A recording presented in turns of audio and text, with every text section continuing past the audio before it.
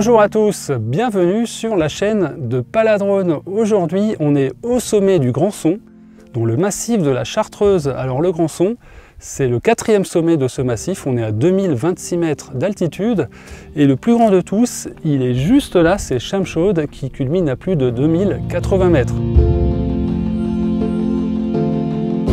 La montagne, c'est le terrain idéal pour faire des belles prises de vue aériennes. Elle offre des paysages variés, vertigineux et riche en perspectives. Les courants thermiques générés par les reliefs produisent de magnifiques nuages bourgeonnants qui habillent le ciel et contrastent les lumières. Le vol aux montagnes, c'est aussi l'occasion d'associer sa passion de l'image et une activité sportive. Au-delà de ce tableau idyllique, la pratique du vol en montagne n'est pas sans contrainte, elle ne s'improvise pas et demande quelques précautions. Même si on est loin des zones habitées, l'usage du drone en montagne n'est pas permis n'importe où et toutes les zones interdites ne sont pas forcément répertoriées. Également, le drone va devoir évoluer dans une aérologie puissante, dans un air plus froid et moins dense. Et vous, en tant que pilote, vous êtes soumis à la fatigue après plusieurs heures de marche et également exposé au stress de perdre son appareil qui serait potentiellement irrécupérable en cas d'incident. Enfin, la montagne est fréquentée par d'autres pratiquants qu'il faudra veiller à ne pas gêner. Elle est aussi habitée par une faune qu'il ne faudra pas déranger.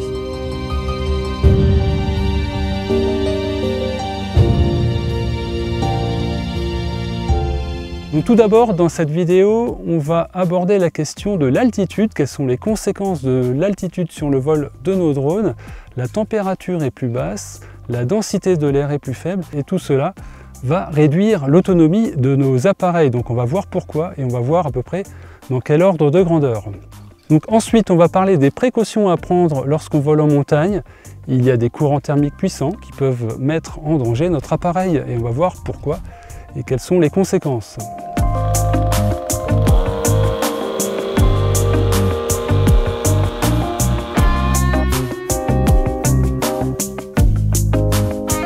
La montagne est fréquentée par euh, d'autres pratiquants.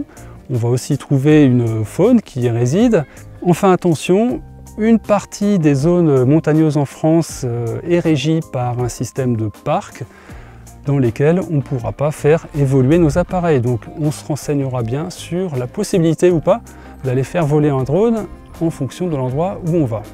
Et enfin la dernière partie, ce sera une évaluation des différents matériels performants disponibles aujourd'hui sur le marché. Ils sont facilement transportables, ils produisent une bonne image, ils ont chacun leurs euh, avantages et leurs inconvénients et on va voir lesquels dans la vidéo.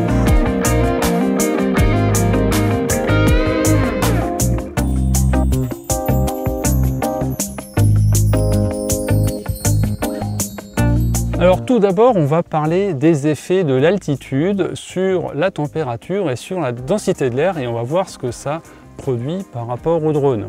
Alors pour mémoire, on différencie l'altitude mesurée par rapport au niveau moyen de la mer et la hauteur mesurée par rapport au niveau du sol. À titre d'exemple, à 4000 mètres d'altitude, 1 mètre cube d'air va perdre un tiers de sa masse par rapport au niveau de la mer, ce qui fait que le drone va devoir fournir plus d'efforts pour se sustenter.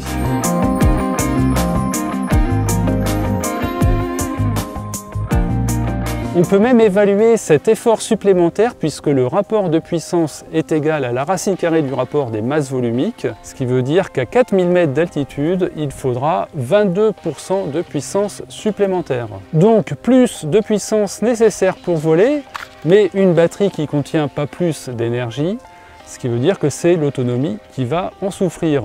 Alors si on évalue cet impact sur l'autonomie, on voit qu'il n'est pas si fort que ça. Grosso modo, on va perdre 10% tous les 2000 mètres.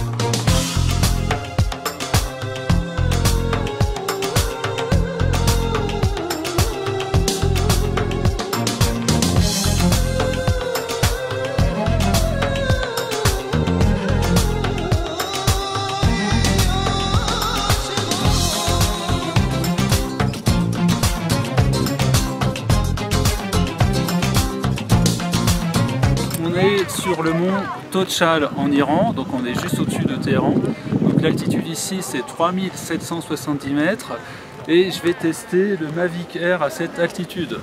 Donc la température elle est un petit peu inférieure à 0 degré et on va décoller, donc là il n'y a pas trop de vent, on a de la chance. On va décoller, faire quelques prises de vue. J'espère qu'on verra un peu Téhéran qui est dans la brume. A tout de suite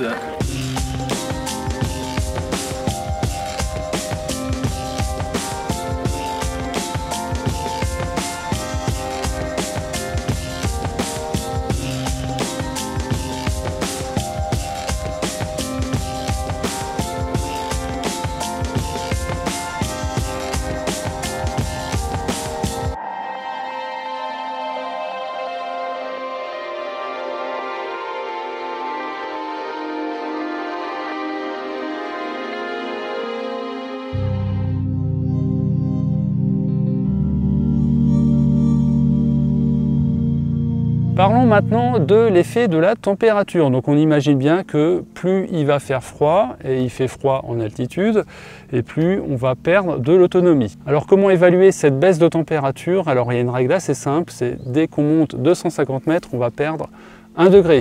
En réalité, c'est un petit peu différent. Il y a certaines journées qu'on appelle instables où on va perdre un peu plus d'un degré par 150 mètres. Donc à ce moment-là, on a des conditions propices à la formation de nuages et aux averses. Et puis il y a d'autres journées où on va perdre un peu moins que 1 degré tous les 150 mètres. On va parler de conditions stables qui peuvent parfois conduire jusqu'à une inversion de température.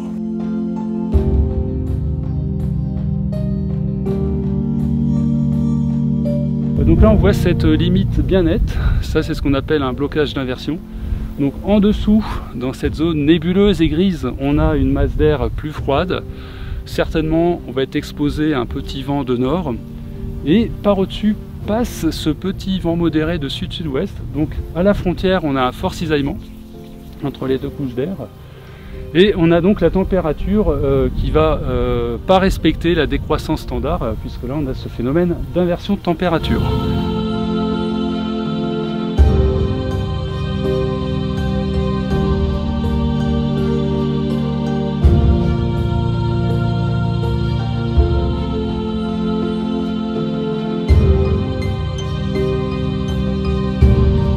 globalement, la règle est assez simple. Plus on est haut, plus il fait froid. Et s'il fait 20 degrés au niveau de la mer, on peut s'attendre à ce qu'il fasse 0 degré à 3000 mètres. Les batteries de nos drones sont conçues pour fonctionner de manière optimale entre 20 et 25 degrés. Donc s'il fait plus froid, la batterie va compenser et donc on va utiliser une partie d'énergie pour réchauffer la batterie, ce qui va réduire son autonomie. Une batterie exposée au froid va également avoir des chutes de tension lors des premiers appels de courant, lorsqu'on fait décoller le drone. C'est pour ça que dans certaines applications, comme dans DJI Go 4, on voit qu'il y a une alerte si jamais la batterie est sous la température de 14 degrés.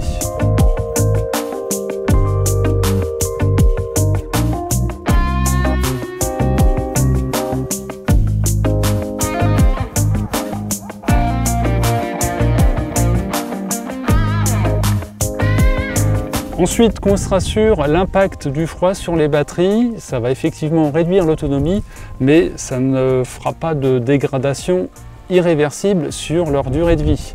C'est un peu le contraire d'une température trop chaude où là l'autonomie est moins impactée, par contre la batterie aura une durée de vie sera écourté.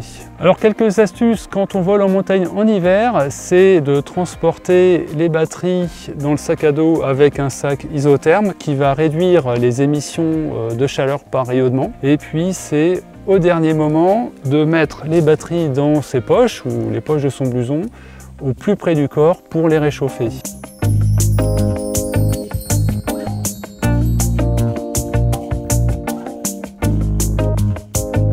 Après les effets de l'altitude sur la densité de l'air et la température, on va parler maintenant de météo. La montagne est le siège de phénomènes aérologiques variés et puissants qui se traduisent par des brises potentiellement fortes et l'apparition d'averses soudaines. Alors pour ceux d'entre vous qui pratiquent le vol libre, le vol à voile, le planeur radiocommandé, vous pouvez passer au chapitre suivant parce que là je pense que vous connaissez déjà tout ce que je vais raconter. Donc là c'est le matin, euh, c'est typique de la montagne, la Mazère est encore très calme.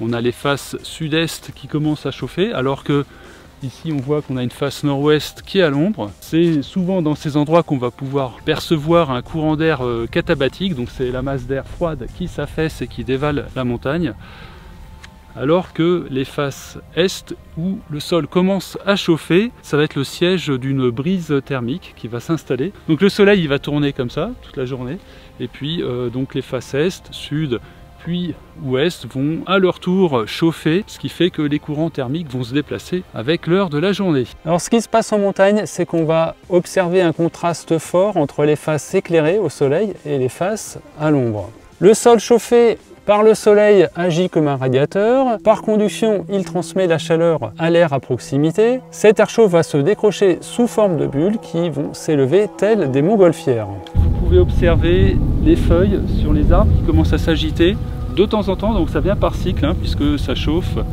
Une bulle d'air se décroche, on va observer les herbes, les feuilles qui vont s'agiter, ça va pas durer très longtemps et puis ça va revenir dans quelques minutes. Donc c'est cyclique. Plus tard dans la journée, ça va complètement s'établir et là on aura une brise régulière. De cyclique, ce phénomène devient continu. Il se transforme alors en une brise de pente dont la vitesse peut dépasser 10 mètres secondes, soit 40 km à l'heure aux heures chaudes. Attention de ne pas confondre ce courant ascendant d'origine thermique avec le courant ascendant dynamique qui euh, est généré par le vent météo qui est forcé de contourner un obstacle. Alors aujourd'hui on a de la chance, c'est une journée idéale parce qu'il n'y a pas de vent. Alors on va bien distinguer le vent qui est un mouvement global de la masse d'air à la brise qui est un phénomène local. Donc il y a plein de sortes de brises, hein. la brise de mer, la brise de terre, la brise de vallée, la brise de pente. La brise est généralement générée par un échauffement local euh, du sol qui va être communiqué à l'air et qui va s'élever. Et ce déplacement vertical de l'air va créer une aspiration. Donc une brise, ça peut être très fort. Ça peut dans certaines vallées euh, dépasser 40-50 km à l'heure. Le vent, c'est global. La brise, c'est un phénomène local. Donc quelles sont les conséquences pour nos drones? D'une part, ils vont devoir pénétrer des courants ascendant rapide et soudain, et d'autre part traverser des zones turbulentes de cisaillement entre le courant thermique et le reste de la masse d'air. Alors voilà, donc là on a, tiens, un bon exemple de brise thermique, donc ça nous crée un courant ascendant assez puissant qui peut atteindre jusqu'à 10 mètres secondes et ce qui va faire que lorsqu'un drone va évoluer et va passer au-dessus de cette euh, falaise, il va se retrouver dans la brise thermique et il va devoir réguler ses moteurs d'une part pour rester stable et d'autre part pour euh, réduire la puissance de portance.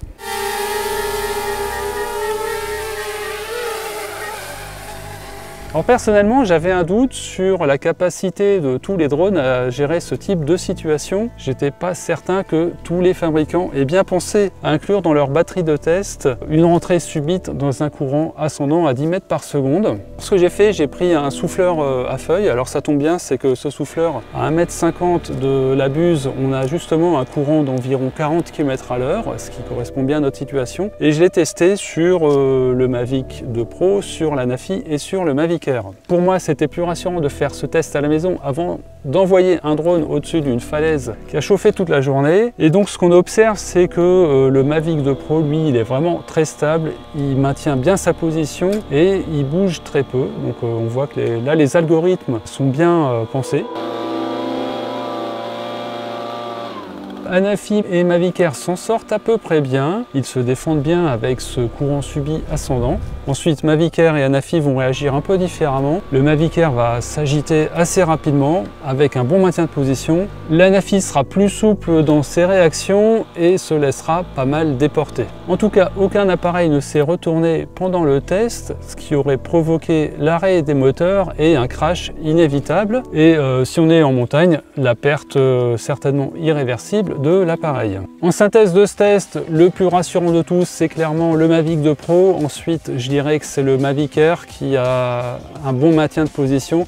Et en dernier, c'est la Nafi qui se défend bien malgré sa masse, mais qui a tendance à trop bouger à mon goût.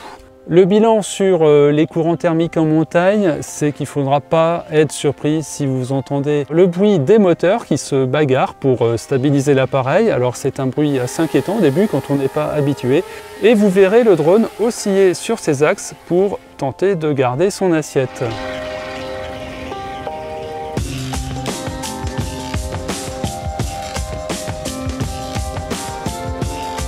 Donc après les thermiques, qui dit courant ascendant dit par ailleurs courant descendant. On va en rencontrer de deux types. Tout d'abord les dégueulantes, car il faut bien remplacer l'air chaud qui s'est élevé. Et le deuxième type, c'est le catabatique, cette masse d'air froid qui va s'affaisser par gravité sur les pentes à l'ombre. Donc je cite aussi des phénomènes moins fréquents qu'on peut rencontrer en montagne. Tout d'abord les rouleaux qui sont générés soit par le vent soit par les thermiques. Les dusts qui sont un petit peu la naissance d'un thermique qu'on peut observer sur des montagnes assez rocheuses en plein été. Et enfin l'effet de venturi qu'on va rencontrer au niveau d'un col où on va observer une accélération de l'air. Dans tous les cas, ces courants et turbulences peuvent être aussi très forts et ils vont secouer et épuiser nos appareils. Donc en montagne, plus qu'ailleurs, il faut garder son drone à vue pour euh, en percevoir le comportement et aussi avoir la sensation de la masse d'air dans laquelle il évolue, de manière à pouvoir le ramener rapidement en cas de problème. Bien entendu, en cas de tempête, juste avant l'arrivée d'un orage, les vents peuvent dépasser largement 50 km h Les drones ne sont pas conçus pour voler dans une masse d'air aussi rapide. Donc là, pas question de les faire voler, on les laissera au chaud dans leur sac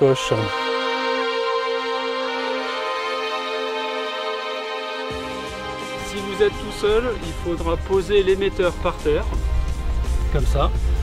Vous tenez l'appareil assez dégagé de vous, plus haut que les yeux, pour éviter euh, tout risque. Et puis, ici, vous allez lancer la procédure de décollage.